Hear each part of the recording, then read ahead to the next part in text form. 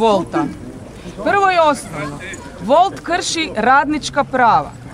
Volt je na prošlom prosvjedu pokušao obstruirati taj prosvjed na način da je poslao, pošto je bilo Valentinovo, radnicima poruku da će se taj dan baš slučajno dignuti cijena dostave. Ironično, evo Mario Iveković, sindikalisti na to odgovorio, evo prvi puta ste uspjeli dignuti cijenu rada, znači imaju novaca, ali samo za suzbijanje štrajka, za suzbijanje prosvjeda. Danas, pola sata prije prosvjeda, stiže poruka od Volta svim radnicima da se diže cijena rada.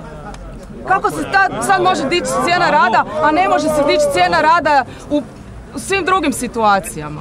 Znači radnici su došli u situaciju da 30% imaju manje dohotke, manje plaće. Ti ljudi znači žive u ovoj inflaciji lošije nego što su živjeli prije, a rade težak posao. Jučer je predstavnik Volta dao priopćenje u javnost. Slučajno je presica bila, da kažem tako, sazvana u isto vrijeme kad su i radnici Volta imali presicu.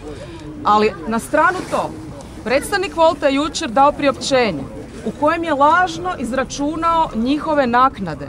I po toj njegovoj računici, u kojoj bi se radilo i praznicima, i petkom i svetkom i nedjeljama, da se računamo, po njihovoj računici radnici zarađuju između 900 i 1100 eura. To je laž, za početak, to je laž.